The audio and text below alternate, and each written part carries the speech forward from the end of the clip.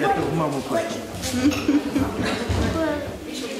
Зато это он такой раскрас. Это я впереди вот проверю. этой стороны.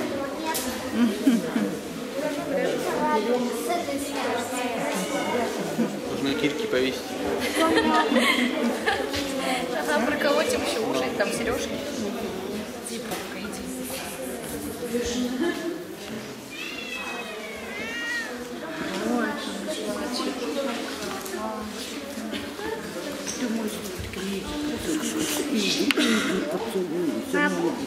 Он, он думает, что котята. Бабушка, бабушка, бабушка. Он думает, что его котята. Он говорит, бабушка. Он, он думает, что... Не надо все Бабушка. Он, он думает, что котята надо. Да. И занялся. А они заметили.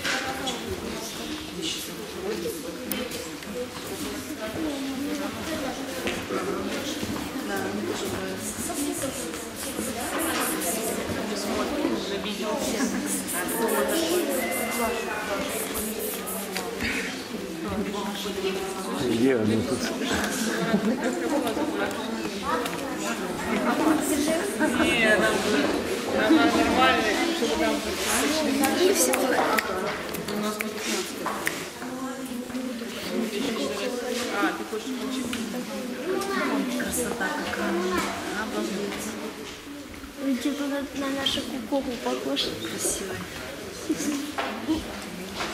Глаза какие, смотри. На моего чем- чем-то моего борца. Знаю. Страшно? Вон, у меня вообще любит пакет. Да? И ключи. Стресс.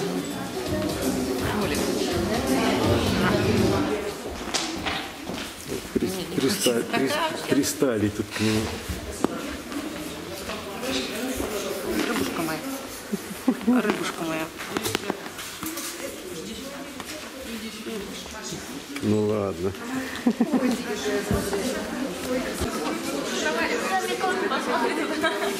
Зачем? Не надо.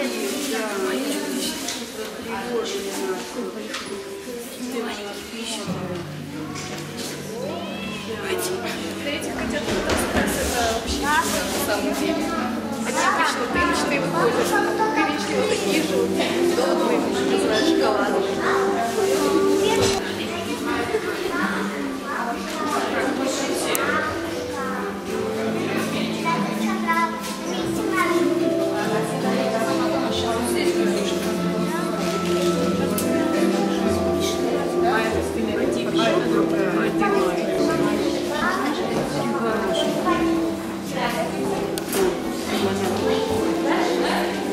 ありがとうございます。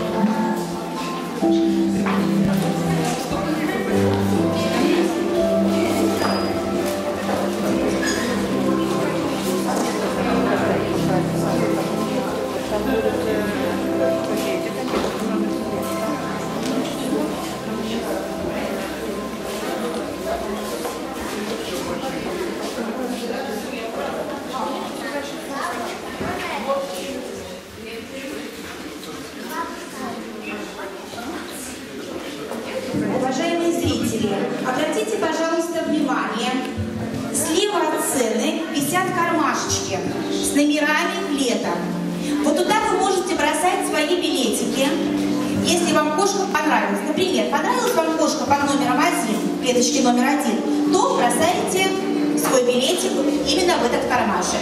Благодаря вам мы выберем приз зрительских симпатий. Договорились? И через три минутки мы начинаем.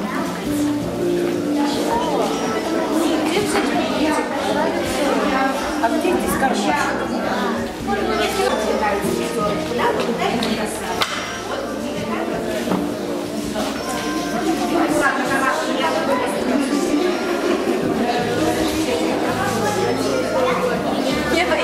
是的。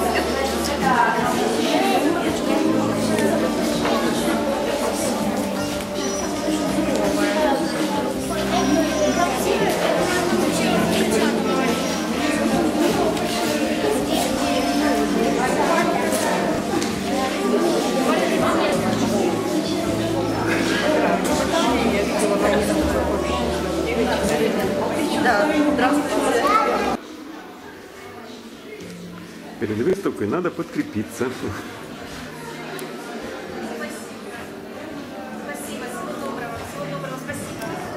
Добрый день, дорогие жители Бокситогорска и гости вашего города. Мы рады всех вас приветствовать на нашей уникальной выставке кошек «Золотая краса». Мы успешно стартовали в городе Тихвине в марте месяце. Также прошла выставка в апреле месяце в городе Пикалево. И сегодня мы приехали к вам, в ваш чудесный город Бокситогорск. Разрешите представить человека, без которого бы не было нашей выставки. Это организатор, инициатор Разборова Елена. Аплодисменты. Благодаря ей наша выставка существует и радует нас. Разрешите вам представить специалиста по грумингу, по уходу и стрижке гигиене домашних животных Светлана Литвинова. Аплодисменты. Заводчик по британским кошкам и начинающим веленорам Кирикова Наталья. Ну что, друзья, наша выставка считается открытой.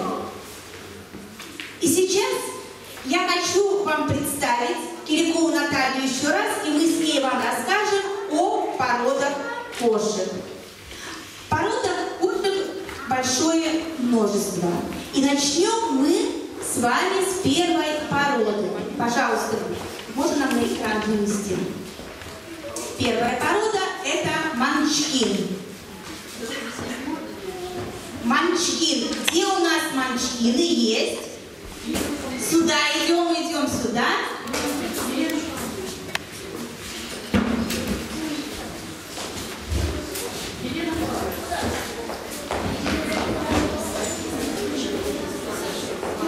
Итак, первый к нам идет Гочик. Наш знаменитый Гочик. Аплодисменты Гочику.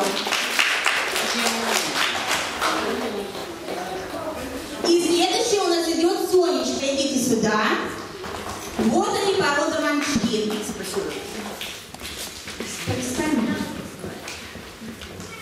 Манчкин очень молодая порода, полученная абсолютно случайно в результате мутации.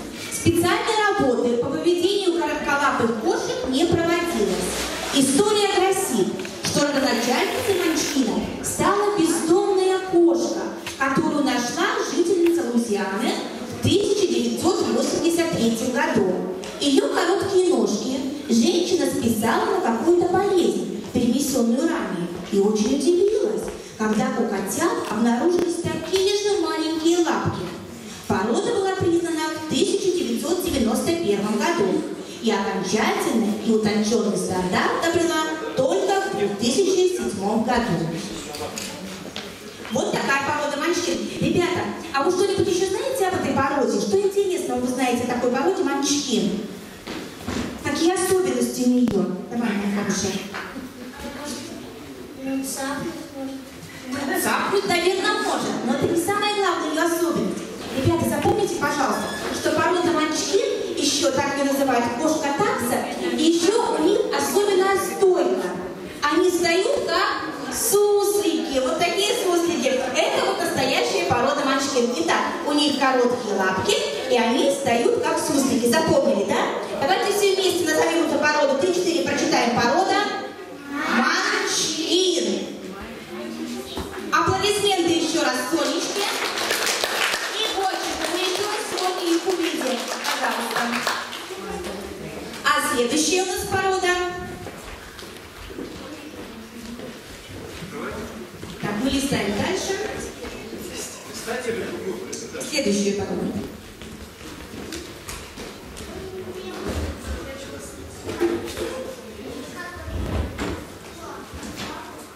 А следующая порода у нас британские кошки. Где у нас британские кошки? Британских кошек нам в гости сюда на сцену. Аплодисменты.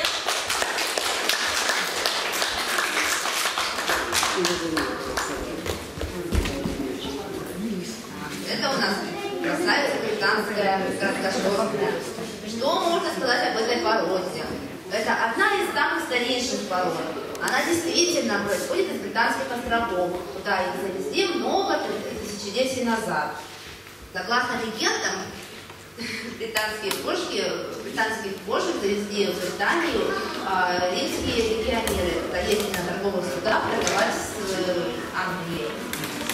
Чем у нас отличаются британские кошки? Они отличаются чувством собственного достоинства, спокойным нравом с большой лентой. Это чистоплотные, самостоятельные и ненавязчивые существа.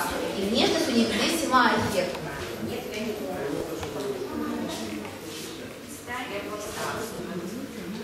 Какие, э, какие особенности еще есть у породы? Они считаются настоящими аристократами в кошачьем мире. Они спокойные. Британец никогда не выпустит кости просто так. В случае, в случае самой э, большой опасности.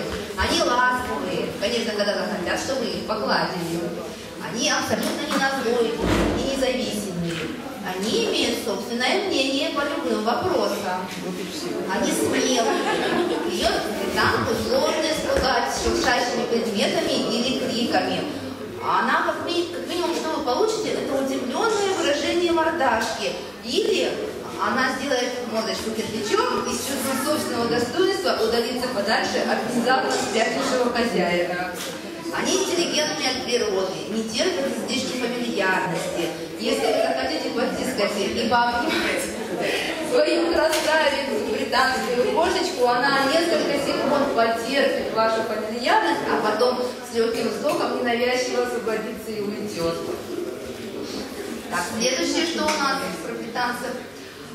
Это истинные английские аристократы, как мы перечислили, обладают королевскими манерами, чувством собственного достоинства.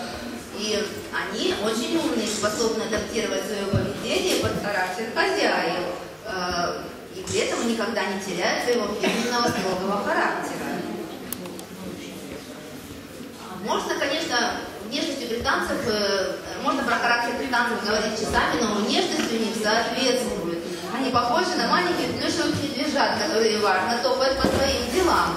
В чем отличительные особенности от других пород у британцев? Во-первых, голова. Она круглая, с хорошо развитыми щечками, широкая скула. И скулы подчеркивают круглую форму головы. Шея короткая, толстая, носик короткий, профиль Значит, носик э, должен быть не очень явным, не очень заметным. Ушки маленькие, ши- широко расставленные, глаза большие, круглые. э, И обычно цвет глаз соответствует цвету шерсти или бежевого цвета. Значит, тело приземистое, широкое, толстенькие лапки, толстенький короткий хвостик. Это тоже отличительные особенности британцев. А, шерстка. Редко какая порода может похвастаться такой густой шерсткой, таким густым, густым подшерстком.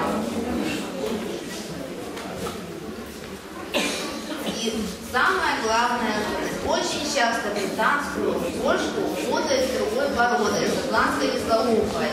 Запомните, пожалуйста, что словосочетание веслоухий и британский Британии э, соединены две разные породы. Это шотландская веслоухая, о которой мы поговорим позже, и британская картофельная. Но только у шотландской кошек могут быть сидячие кошки.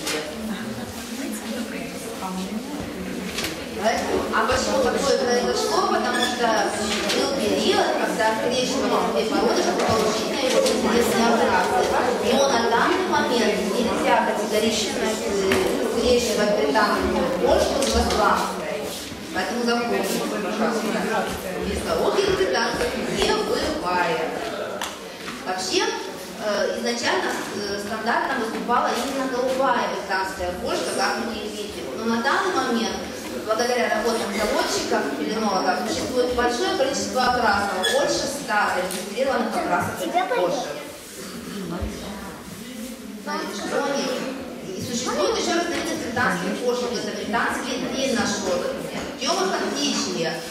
Они имеют э, внешний вид, как и британская короткошерстная, характер точно такой же, но отличие это полудлинная шерсть с пышным воротничком и с пышными штанишками. И они сегодня единственная порода, которая, э, несмотря на свою длинную шерсть, не требует какого-то специального ухода, потому что именно благодаря своей струящейся шерсти легкой, они очень легко расчесываются, и это редко жестко э, сваливаются в колтуны, которые трудно вычесать.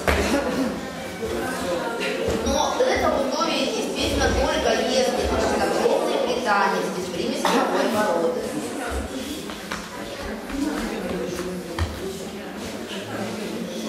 Чем еще основная особенность британской? Это считается самые позитивные кошки, единственные кошачьих, которые умеют улыбаться. А все, все дело и хитрость вся именно вот в этих щечках пухлых. А, и когда кошка в хорошем настроении, она немножечко расслабляет мышцы, щечки приподнимаются, приоткрывается э, ротик и высовывается кончик языка. И кошечка становится такой добродушный вид, как будто бы они улыбаются. Вот в чем особенность. Да, ну, в принципе, благодарим нашу кошечку. Аплодисменты, аплодисменты. А мы едем дальше. И мы приглашаем сюда сибирскую породу. Дену сибиряка.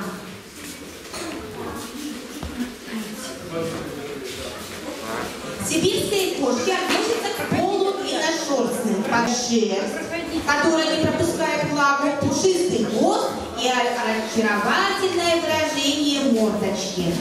Эта кошка прекрасно приспособлена к суровым условиям после зимы и может запросто гулять по снегу. Вот он наш красавец Стар из королевства. Вот такой сибиряк. Аплодисменты, ребята. Он любит, когда ему аплодируют. Эта кошка имеет очень сильный характер. При этом хозяину проявляет особую ласку и чуткость. Такие питомцы очень грациозны. В то же время они жизнерадостны и игривы. Они не станут вам надоедать своим обществом, но будут рады даже мимолетной ласке. Кошки легко запоминают свое имя и впоследствии откликаются только на него. Сегодня у нас так из королевства. Для своих габаритов сибиряки очень гибкие и сильные. Они могут, могут прыгать на большую высоту и запросто перемахнуть одного шкафа на другой. Сибирские кошки – прекрасные питомцы для семьи с детьми. Они прекрасно ладят с малышами и даже могут стать отличными няньками. Для правильного развития этих кошек обязательно прогулки и активные игры. Но не поленитесь установить для своего питомца специальный уголок, где он может заниматься акробатикой. Они не агрессивны и не мстительны.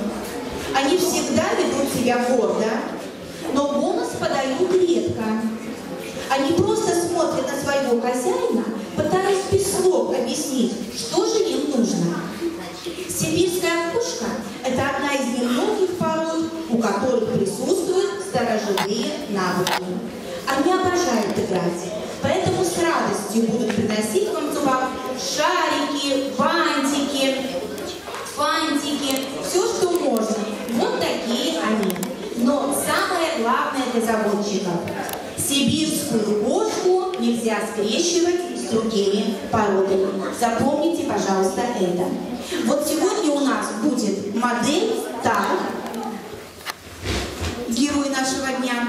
И, да, и позже нам Светлана Литвинова покажет, как же нужно причесывать, как нужно ухаживать за кошечками, как нужно чистить ушки и подстригать им коготки. А мы с вами ждем следующую породу. И следующая порода шотландская. Шотландская, пожалуйста, нам. Где у нас шотландцы? Давай. А поаплодируем так, давай. Так, поаплодируем. Так, что же это за порода сейчас была? Вот это так, как его зовут? Что за порода? Как называется? Сибирская. Сибирская. Сибирская порода. С чем она вам запомнилась? Быстренько. Что она может нести фантики. Да, вот такие вот они. Ну что, а мы встречаем шотландцев. Давайте скорее сюда. Вот такие красавцы у нас и тут и красотки. Сюда, сюда, сюда. Аплодисменты. Ребят, давайте поаплодируем.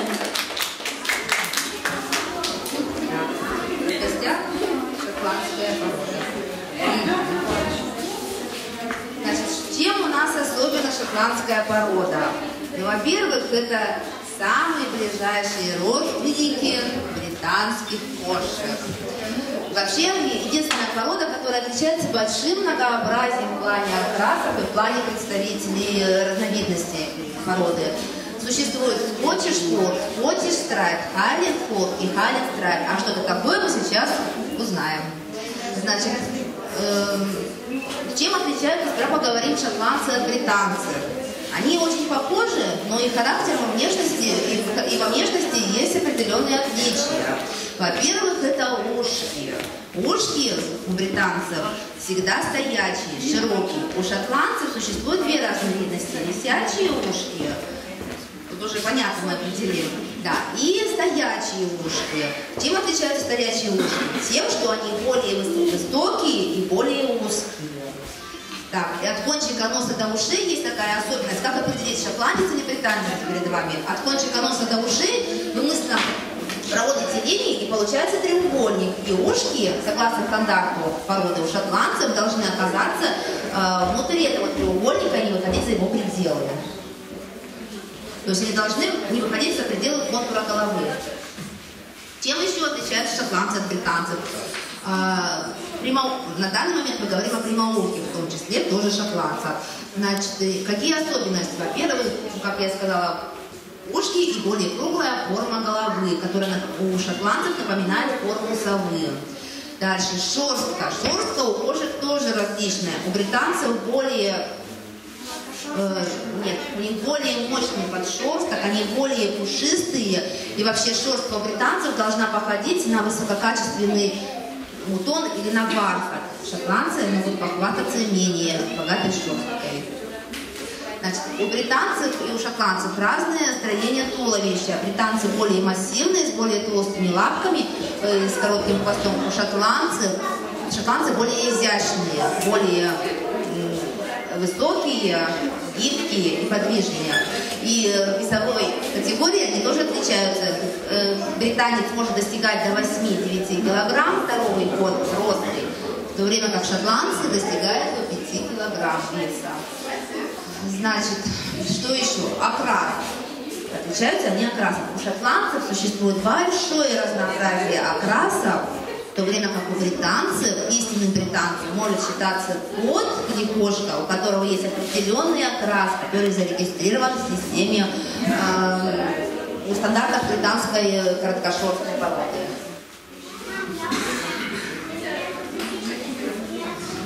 Ну, в целом, шотландская веслоухая кошка – это очень красивое животное. Э, Значит, сейчас мы говорим о скотиш-флотах. Скотиш-флот – это шотландская веслоухая кошечка.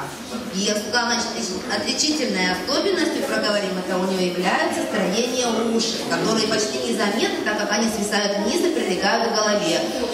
А, Степень прилегания ушей к голове э, определяет эм, определ- определяют складочки, которые могут быть двойные, тройные, однойные. Чем больше складочка, тем плотнее прилегают ушки к голове.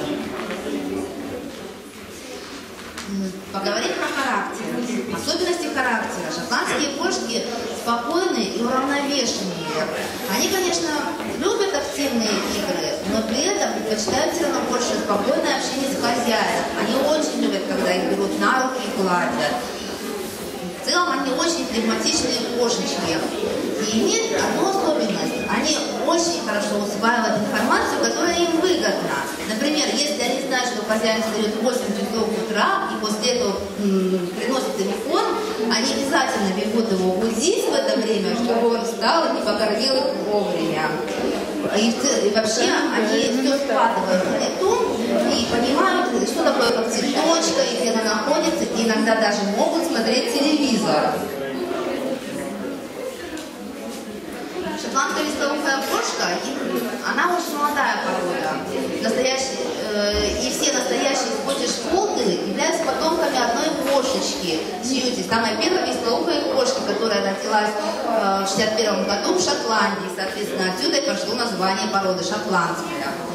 А, Особенность есть у шотландских кошек. Э, Это прямая стойка. Очень часто кошечки этой породы любят выпрямлять спинку и становиться на задние лапки, подобно столбику.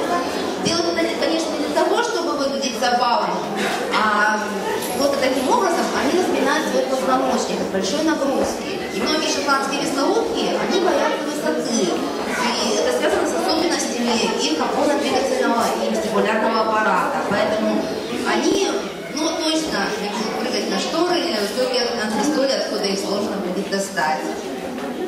Также а, у них необычный голос. Они совсем не похожи на привычное мурлыканье, а довольно-таки скрипуч. И поэтому шотландцы стараются не кричать, а просто, когда им что-то нужно, они вежливо извещают об этом с помощью значенного говора. Ну, конечно, в домашней установке. Есть еще одна особенность. Это сидеть как плюшевые игрушки, сложив лапки на животике.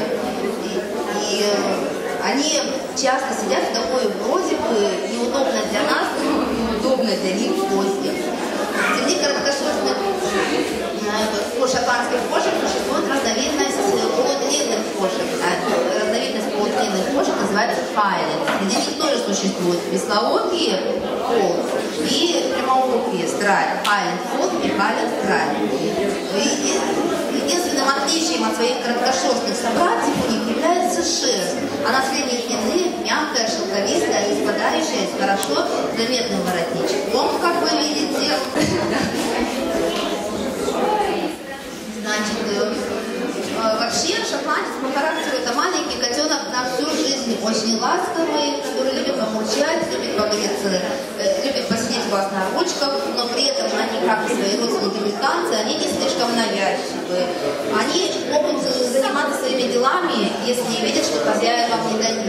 И в играх тоже особенность. Они никогда не упускают коготки и лишены агрессивности на генетическом уровне. Вот. Есть особенность, если вы собираетесь завести себе шотландскую кошечку и собираетесь в дальнейшем э, получить от нее котят, вы должны знать две важные особенности. Первое, ни в коем случае нельзя вязать шотландских кошечек британскими, потому что это может привести к печальным последствиям. Да, конечно, раньше э, на короткий период времени, как я уже говорила, была разрешена подобная вязка. Теперь это запрещено по ряду причин. Э, Во-первых, потому что... Почему это запрещено? Потому что шотландцам, э, шотландцы и британцы встречаются костяком. И, соответственно, кошки, полученные такой вязки, они могут иметь проблемы с позвоночником, потому что очень большой, большая мышечная масса британцев садится на легкий шотландский костяк. Это во-первых. Вот. А Почему еще запрещены межпородные вязки? Потому что кошки, полученные от таких вязок, особенно от веслоухих, а, получается неполноценно ушки. Ушки, э, складочка не очень хорошая получается, и ушки стоят э, либо наполовину опускаются, либо стоят целиком, но уже это не соответствует стандартам ни одной, ни второй породы. Можно нам дальше пролистнуть, пожалуйста? И в отличие вот этой вот межпородной вязки может привести, вот как вы видите, к подобным эффектам со су- суставами. Посмотрите, пожалуйста, и запомните, что категорически нельзя вязать межпородные британцев шотландцами. Вот, потому что существует огромный шанс рождения инвалидов, возможный ряд дефектов, урод э, проявляющихся в сочных задних лапках, в искривлении позвоночника, хвоста, аномалии развития тазобедренных суставов. Э, Конечно, бывают исключения, рождаются здоровые животные, но нет гарантии, что в более зрелом возрасте ваша кошечка такой вязки приобретет проблемы или не приобретет проблемы с здоровьем. Э, Также категорически нельзя, можно нам следующий слайд, пожалуйста. Э, Категорически еще нельзя, скажу просто, вязать веслоухую кошечку с веслоухим котиком, потому что от такой вязки 90% получаются неполноценные котики, имеющие также проблемы с позвоночником, потому что ген веслоухих, веслоуховские уши, он еще и негативно сказывается на развитии позвоночника. Поэтому запомните, веслоухую кошечку можно вязать только прямоухой, прямоухой или э, прямоухой шотландской кошечкой. Кошка сделана из меха, из желаний и загадок. Кошка это не собака, у нее свои повадки. Кошка чьей-то быть не может, ценит ласку и заботу. Очень часто тяжко приходилось ей дома в неполадке. Кошку выдумали люди, чтобы, приходя с работы, гладить, сидя на диване, забывая о заботе. Кошка в дом приходит ночью, через форточку на первом. Она знает много муха, мозговыть умеет верно. Кошка – дело настроения, подойдет, когда захочет. Если и отдарит взгляд, тоже как-то между прочим. Кошке хочется на крышу, чтобы влюбляться под луной. Помни, кошки не заменишь волю только лишь собой. Кошка в темноте все видит ярко-желтыми глазами. Мягкие у кошки лапы, только правда с ноготками. Кошка странное создание, ей так сложно, не до смеха. Нужна такая кошка. Кошка, которая сделана из меха. Спасибо, Наталья. А мы с вами ждем следующую породу. Ребята, идите скорее сюда, потому что сейчас придет к нам в гости невиданный зверь. Бегом скорее все сюда к сцене. Так, идем, идем, идем сюда. И сейчас у нас следующая порода – это мейн-кун. Порода мейн-кун.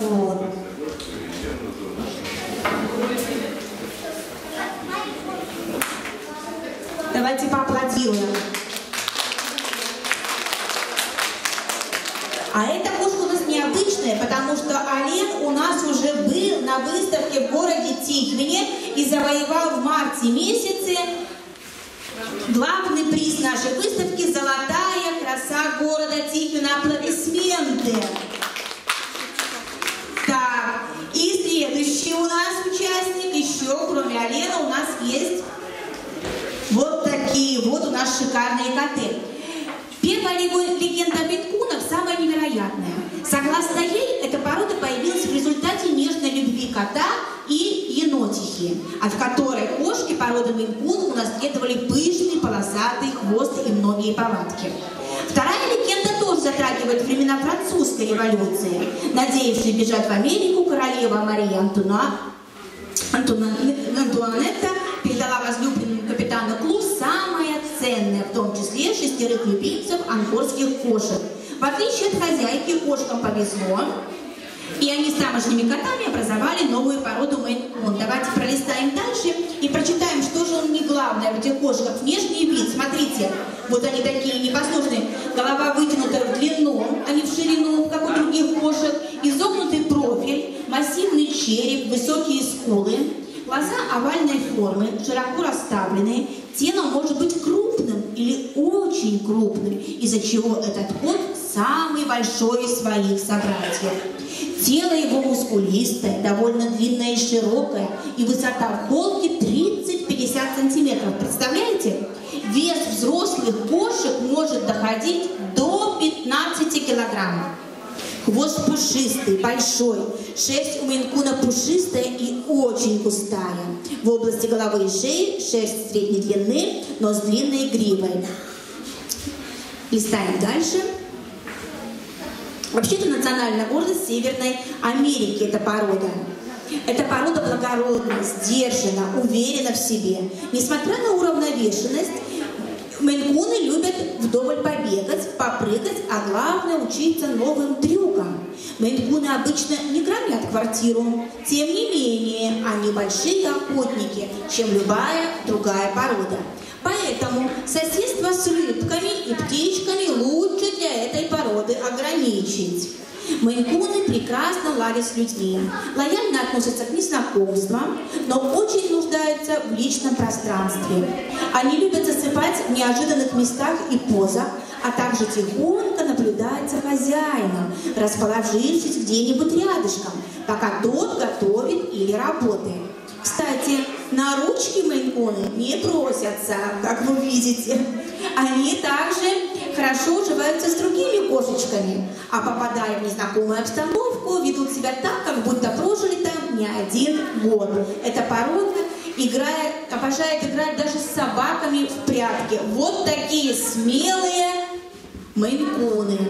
Интеллект у этих кошек полностью соответствует их внешнему облику и габаритам.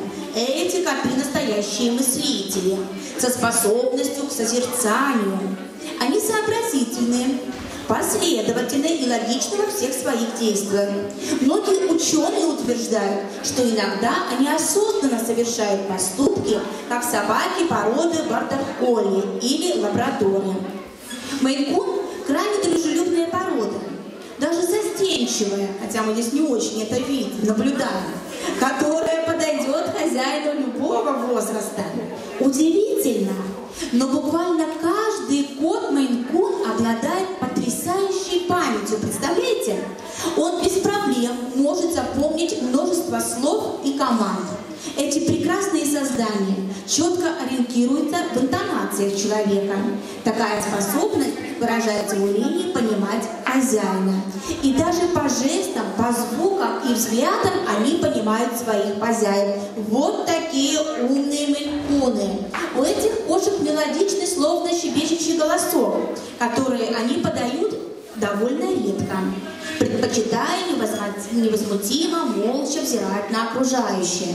Кошки этой породы, в отличие от котов, более агрессивны по отношению к грызунам и являются лучшими охотницами. Считается, что кошки очень умны и понимают различия между добычей на улице и домашними питомцем. Но проверять это утверждение с риском для жизни вашего хомяка или морской свинки не стоит. Поэтому нужно держать подальше хомячков, кошек, рыб, э, рыбок от этих кошек. Коты больше, более простодушные и прямолинейные, чем кошечки. Они не умеют быть навязчивыми, но при этом отходят от своего хозяина ни на шаг. Они не отходят, чем-то напоминая верного пса. Кажется, если попросить его принести тапочки, он это обязательно сделает. Носят минкуны тапочки, кстати? От нас. То есть не к хозяину, а от хозяина минкуны носят тапочки. А мы едем дальше. Слышу, все испугались, притихли. Вот, наши красавцы. Ну что, друзья мои, мы ознакомили вас с породами, которые сегодня у нас присутствуют на нашей выставке. И сейчас я хочу пригласить сюда Светлану Литвинову, которая вам покажет, как нужно ухаживать за кошкой. Потому что кошки, как и люди, они любят косметику, они любят припудриться, любят различные расчесочки. Поэтому сейчас Светлана нам принесет полный арсенал своих инструментов, и моделью у нас сегодня будет сибиряк. Сибиряк? А кто запомнил, как его зовут, нашего красавца? Еще раз? Тарк! Его зовут Тарк королевства. Встречаем, ребята, давайте. Вот сейчас Светлана покажет чудеса, которые будут происходить Тарком. Здравствуйте, уважаемые участники, гости выставки. Так, сегодня я вам хочу рассказать про уход за длинношерстной кошечкой. Как за ней ухаживать, как... Да, вот, э, значит, что первым делом надо, когда вы завели котеночка, его нужно приучать с детства. С детства приучать к, разной, к различным процедурам, как к мытью, как к вычесыванию, стрижка когтей, все это идет с полутора-двух месяцев начинайте. Если вы будете это взрослую уже делать кошечку, она очень мало манипуляций даст сделать с собой.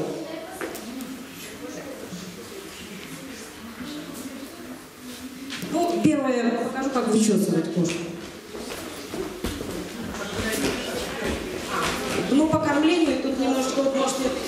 Почитать про, про я сторонник сухих кормов.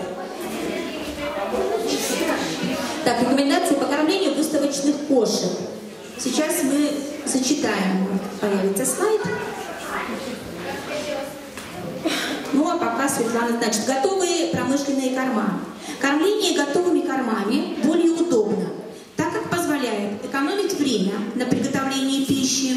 Оно сбалансировано, и кошка получает все необходимые питательные вещества. Кормить можно сухим и баночным кормом, консервы. Сухой корм необходимо выбирать качественный, хороших фирм-производителей. И по рекомендации нашего грумера Светланы Ликвидовой мы вам предлагаем Hills, Neutral, Eagle, Pack, Purina Plan, Royal Canin, Акана, Честь и так далее. И хорошие корма содержат пометку «Супер премиум». Запомните, пожалуйста. Никогда не вырастет чемпиона на кормах эконом-класса, это однозначно. Шерсть будет тусклая, э, линька будет проходить очень затяжная, и, в общем, ничего хорошего не будет. И впоследствии будет просто кошка даже больна. То есть только супер премиум класс. Также смешивать готовые корма разных производителей не рекомендуется, друзья, так как каждая фирма разрабатывает свою диету, набор продуктов, витаминов, минералов. Если корма смешивать, то о сбалансированности питания говорить не приходится. Значит, запомним, корма мы не смешиваем. Если пользуемся, то производитель одного, одной только фирмы. Так, ну что, мы говорим о ежедневном уходе. Ежедневному, к ежедневному уходу, значит, что у нас относится? Ну, Конечно, вычесывание. Смотря э, каждый день просматриваем на наличие колтунов. Это подмышки, в основном за ушками образуется зона штанов, под, под хвостом просматриваем все. То есть э, живот, вот в этих местах очень часто скапливаются колтуны. Если мы их находим, можно применять вот так момент, как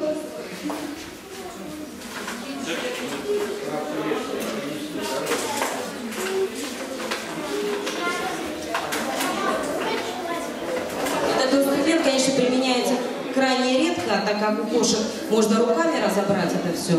Колтун аккуратненько разбивается и э, вычесывается. Но если совсем э, не поддается, вот такой колтунорез. Тихонечко, аккуратно заходим под, э, значит, э, по- под э, колтун, да, и, и аккуратненько его, он разрезает его. То есть берете вот так разрезается колтун. Ну, это за ушами-то не надо. Вот а- обычно на животе очень стойкие, если колтуны, заводите и потихонечку придерживаете пальчиком, значит, э, руками придерживаете кожу и оттягиваете. Это все разрезаете, потом потихонечку можно уже будет вычесать. Так, значит, применяемые инструменты для ухода за шерстью. Вот они представлены у нас. Различные виды расчесок применяются. Можно двухсторонние, односторонние.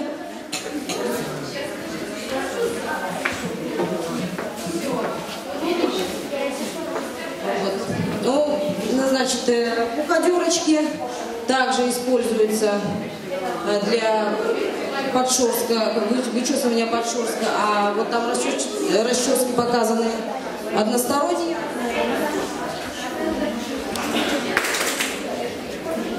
Вот такая расчесочка применяется, как э, редкий зуб, частый зуб, тоже очень удобная.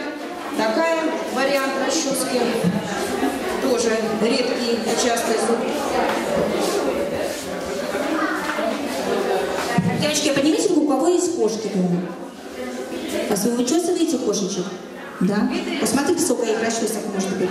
Виды бухгалтеров различные, есть с капельками, есть без капли, то есть которые тоже применяются.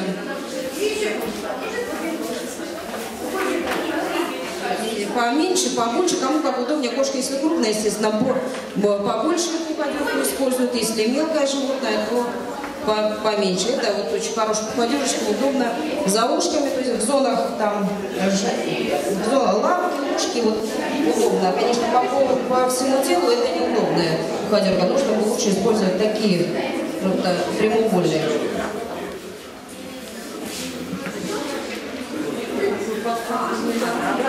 Можно обратно еще? Свой. А, немножко скажу про форминаторы. Очень, очень хорошая вещь. И необходима она, э, особенно когда при линьке сезонной, вычесывание до 90% шерсти применяется как для длинношерстных животных, так и для короткошерстных. Э, Значит, они есть разные, которые для бывают и, э, для короткой. Э, Нужно не забывать об этом спросить в зоомагазине или прочитать а, про фурминатор, какой шерсти относится, в короткой или длинной. Вот, очень хорошая вещь. Сама пользуюсь ей, шикарно все. Значит, а вот есть э, массажные расчески, тоже применяемые.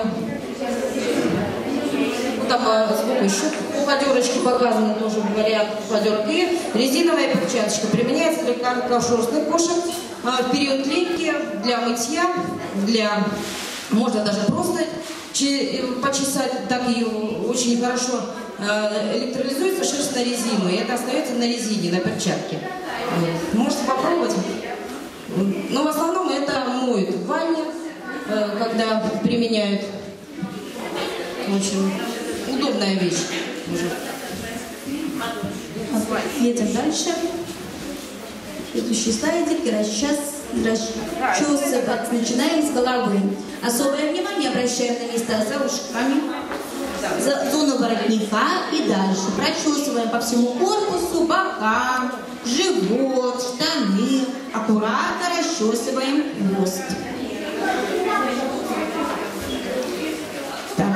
Также в ежедневный уход входит осмотр глаз. Обязательно. Есть пор- породы, которые э, глазки слезятся, такие как, например, персы, у них э, слезные дорожки образуются, их нужно, бывает, профилактическими каплями, конечно, закапывают. Про уши. Ну, про глаза рассказали, теперь давайте уши. Так, осмотр ушей. Ладно, Ну, про профилактика. Осмотр ушей. Также производим осмотр ушей хотя бы, ну, вообще лучше каждый день, раз, раз в неделю. Это обязательная процедура, так как это может быть и заражение ушным клещом, и вообще просто посмотреть, вдруг аллергическая реакция, нет ли аллерги- аллергической реакции. Вот, значит, и применяемые средства для чистки ушей профилактические. Можете посмотреть, уже используются различные лосьоны, гели. Э, Вот, очень много на натуральной основе. Можете не бояться, смело их применять. Также они удаляют лишнюю серу из ушей и являются еще дополнительно профилактическими от различных заболеваний ушей.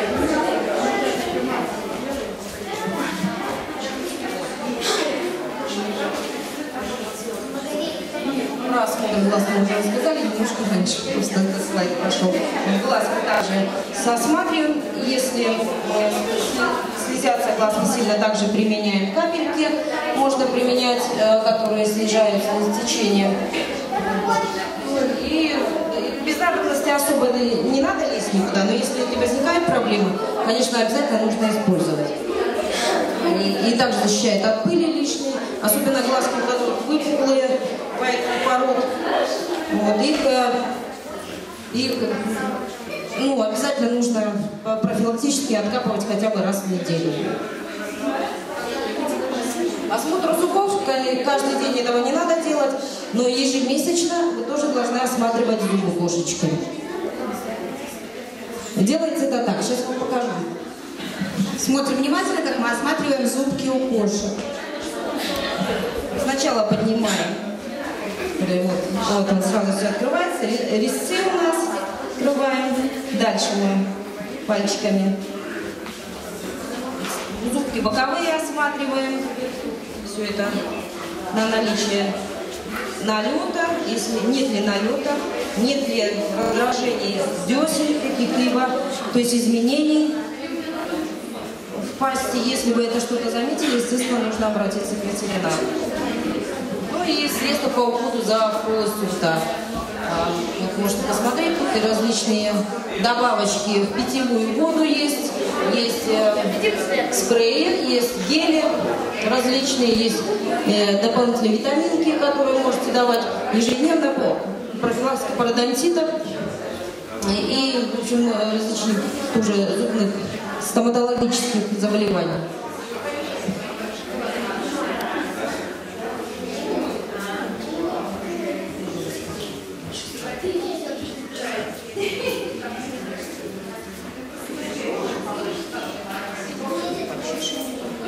Так, ну что, уход за когтями. Ноготочки. Как стричь когти? Значит,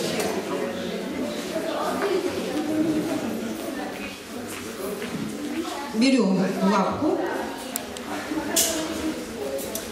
нажимаем на подушечку, у нас появляются Стой так. Вот. Появляются коготочки. Когтерез держим снизу. Вот так. Не так. Не так. А вот так. Срезаем коготь, нащупываем. Смотрим. Белый кончик. У кошек он хорошо виден. Да. Все, все, все, все. Молодец. Так, вот и срезаем аккуратненько, срезаем коготок, вот этот кончик белый. Все, подрезается раз в две недели когти. Ну, это важно даже с, с точки зрения спасет вашу мебель и все да, домашние, как говорится, имущества могут. Ну, это, это этот не, не дерет, а другие могут драть. У меня, например, кошки-любители подрать. Вот, диваны, кресла. Так что спасет это. Обрезайте раз в две недели, и вы увидите результат. Это я вам гарантирую. Потому что даже кошка, ко- которой нет когтей, она так не ползает и не забирается на диваны, на кресла. У нее, ну, не, не нравится ей, да, уже. И драть она так не будет ничего.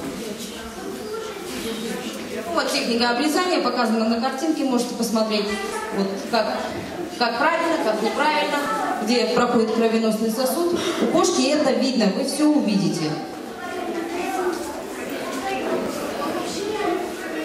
Ну, э, теперь у нас, значит, э, по поводу мытья кошек. Ну, домашних кошек, конечно, кто не выставляется мыть там раз в полгода, это, этого будет достаточно. А мы говорим о выставочных кошках. Выставочных кошек моют намного чаще. Э, минимум за неделю до выставки, вообще раз в месяц желательно мыть э, выставочных кошек. Так. Ну вот показано на картинке, как моют. Это вот в ванне, под душем смачивают шерсть, хорошенько смочить шерсть. Потом наносят шампуни. Сначала наносится шампунь глубокой очистки наносим. Желательно даже два раза, чтобы обезжирить хорошо шерсть. Лучше два раза нанести его. Значит, все смываете, потом наносите уже текстурирующий шампунь, который специально для вашей кошки разработан, для ее шерсти. А, Значит, э, и после этого только, ну, смываете тоже, и после этого наносите кондиционер. Тоже определенный для определенного типа шерсти. Это, все продается, э, профессиональные все шампуни, кондиционеры, там все написано, э, для кого, для чего. Это вы можете приобрести в зоомагазинах, ну, в хороших зоомагазинах это все есть. Ну вот профессиональная косметика, это, это пример той профессиональной косметики, например, спа-серия, а, значит, э, биоблом серия есть, есть и все пернат, джеров. Все это косметика проверенная, уже хорошо себя за- зарекомендовала. Есть много, конечно, новой современной еще косметики. Но всегда, прежде чем использовать шампунь, э, значит, перед выставкой не новые шампуни не экспериментируйте. Потому что, возможно, он не подойдет именно вашей кошке, и потом будет, ну, не очень вам приятно, что не подошел, и, естественно, Светлана, в свою очередь, пожалуйста, пригласите наших зрителей, да, заводчиков и любителей кошек в ваш магазин в городе Тихине. Скажите, пожалуйста, адрес, где вы находитесь и ваш, э, ваш товар. А, Значит, э, зоомагазин наш находится город Тихвин, улица Советская, дом 47. М, а, Называется зоомагазин Зоомаг. А, Зоомаг Зебра. Значит, мы представляем широкий ассортимент товаров там для животных. Э, В принципе, вы найдете все в нашем магазине, что для вас нужно. И косметику, и, и различные домики, лежанки, что, как цветочки. Принципе, все. У нас есть все. Это недалеко от автовокзала, да? Это напротив э, РДК нашего, памятник Красная Звезда, воинской славы Красная Звезда находится, мы напротив. Летний сад еще там, как Рядышком с этим садом. Так, зоомагазин «Зебра». Зоомаг Зебра, да. Дальше, значит, э, после мытья кошку э, желательно сушить, конечно. Но это я вам говорю, приучайте с раннего возраста котенка обязательно, потому что взрослая кошечка зачастую это все будет огромный испытать стресс, естественно, она вам не даст. Э, Вот, с маленького котенка приучаете, и тогда нет проблем. А, значит, сушка феном начинается слабо, поднимайте шерсть расческой, направляйте поток воздуха снизу вверх, придавая им более наполненную форму. Вот. э, Затем оттягиваем шерсть расческой, чтобы не, не было волны. Просушиваем воротник, придавая ему объем. Аккуратно расчесывая, сушим мордочку.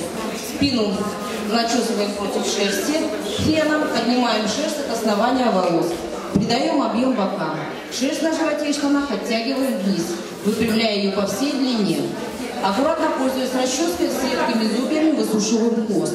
Почему? Редкими, потому что хвост можно очень хорошо вычесать, что он будет лысый. Так, нужно использовать редкую расческу. Осталось немножко по Окончательная подготовка у нас к выставке э, значит, проводится утром в день выставки. Кошку начесываем, обрабатываем выставочной пудрой, если очень аккуратными средствами этим пользуемся, потому что, чтобы не переборщить, переборщите с пудрой или с каким-либо э, кондиционером, если плохо смоете, шерсть будет неестественная, эксперт это заметит, и, в общем, будет дисквалификация. Значит, э, э, после вот кто использует пенки различные, еще обязательно нужно использовать антистатик, чтобы шерсть не электролизовалась. Вот немножко тут на слайде представлены пудры различные, какие используются для... То есть, э, значит, э, цветные пудры различные да, и даже пудры глубокой очистки.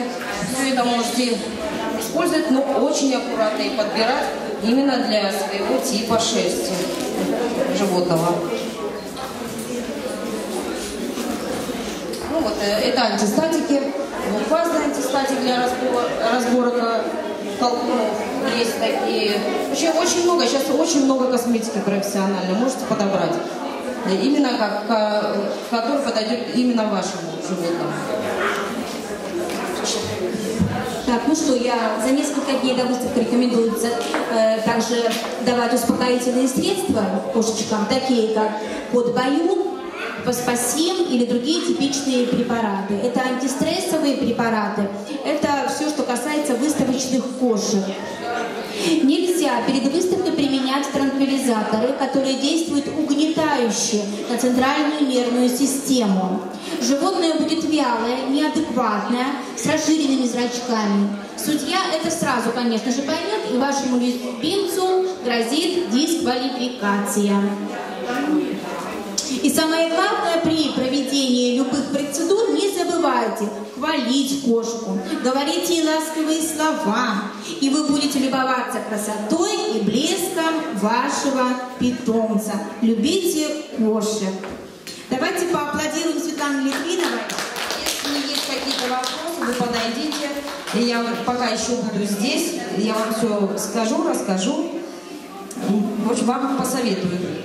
Э, И особые аплодисменты давайте Тарху из королевства, который мужественно выдержал все процедуры. Вот такую стойку он встал. Все, Тарху, еще раз аплодисменты Тарху. Замечательно. Ну что, друзья мои, А, я еще раз... Наше голосование закончено, окончено по, за приз зрительских симпатий. И сейчас...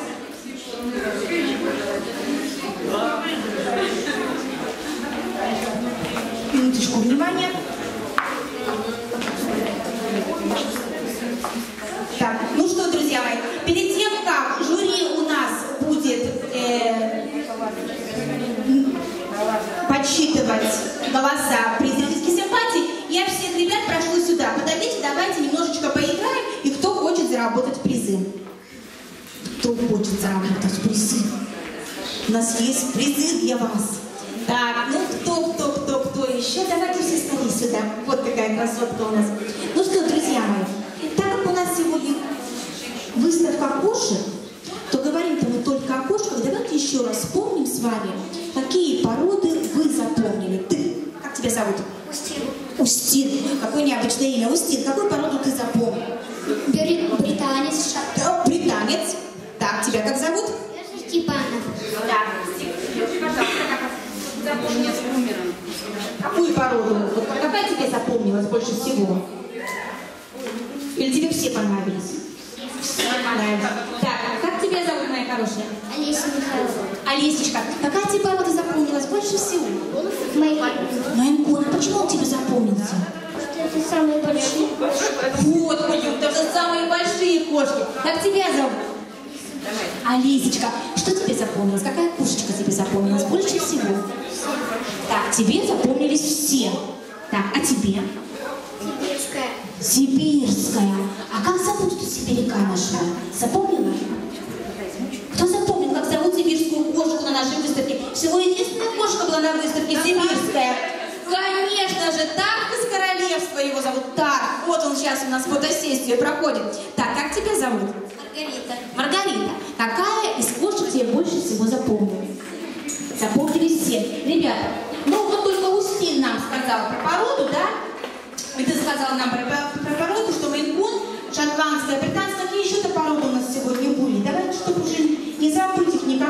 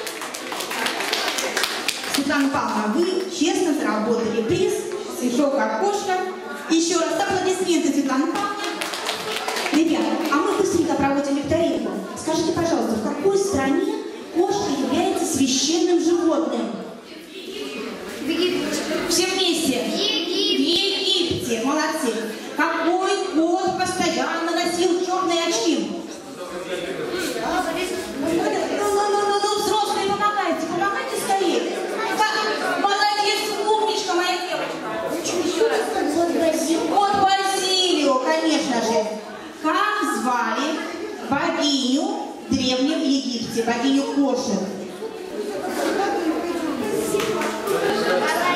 Ее звали Баста. Какая была? Так. А скажите, пожалуйста, вот наука о лошадях называется, Устин, наверное, знает. Конный склад? Конный склад? Нет, наука, наука о лошадях. Ты, как у нас главный из вашего конного клуба «Талисман Боксогорства», обратите внимание, пожалуйста, ты должен знать, что наука о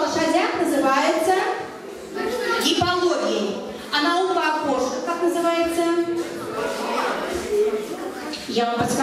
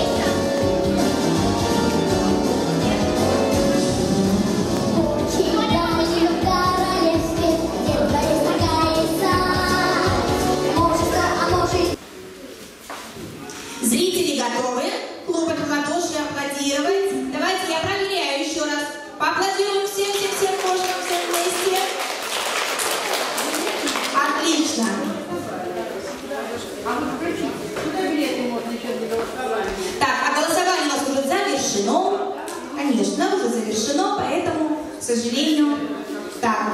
За кого ты голосовал? Иди сюда к нам, иди сюда к нам. Иди сюда к нам.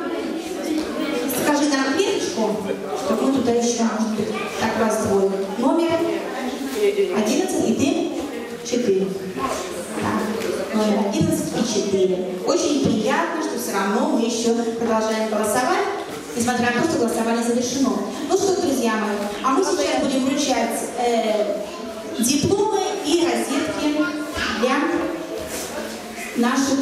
ser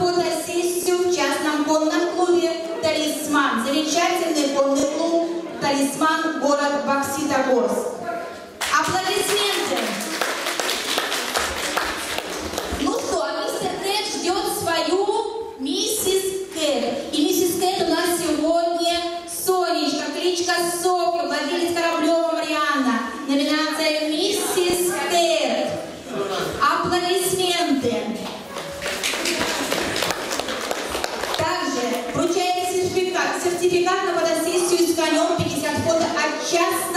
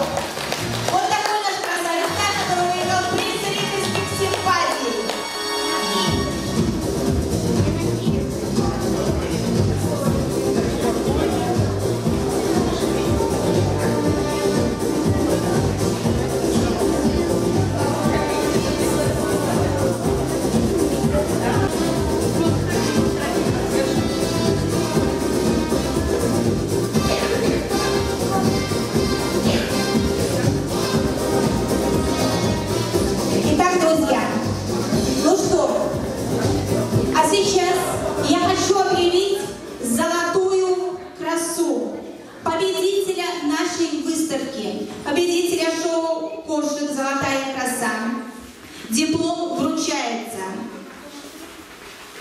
Кошки кличка Sweet Metal Bars, домашняя сироп, владелец Шибаева Наталья.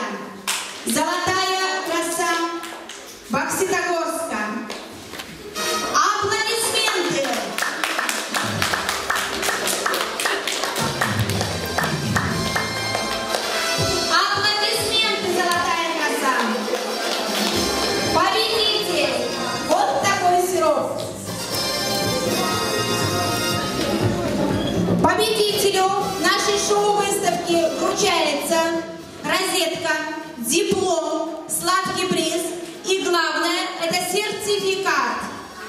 Fusion Bar Sakura номиналом в 1500 рублей. Самая вкусная кухня в городе. Город Пикалево. Fusion Bar Sakura.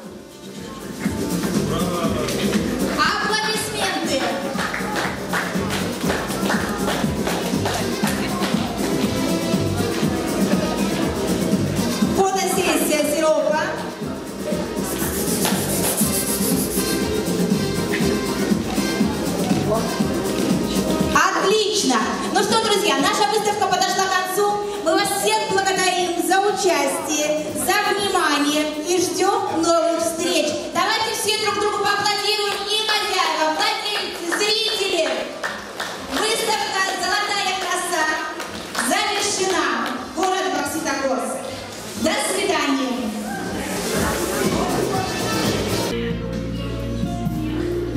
Можно интервью взять такое? Касательное. Молодец.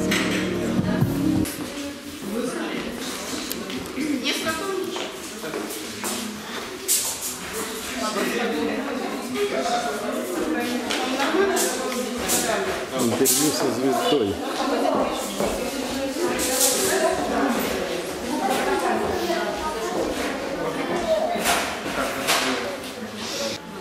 Вот такая выставка вышла. Дальнейшее будем создавать блог, где будем давать все рекомендации по кормлению, по размножению, по прививкам. То есть, э, чтобы наши животные были э, в правильном